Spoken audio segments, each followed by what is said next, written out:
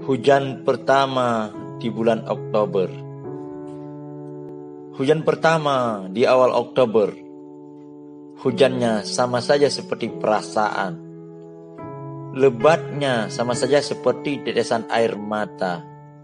Gelapnya sama saja seperti kehidupan. Banjirnya sama saja seperti tingginya luapan rindu. Hai bulan Oktober Jangan suka mengusik kehidupanku yang sedih ini dengan suasana semumu itu.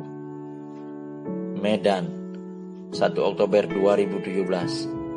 Syahla Umamah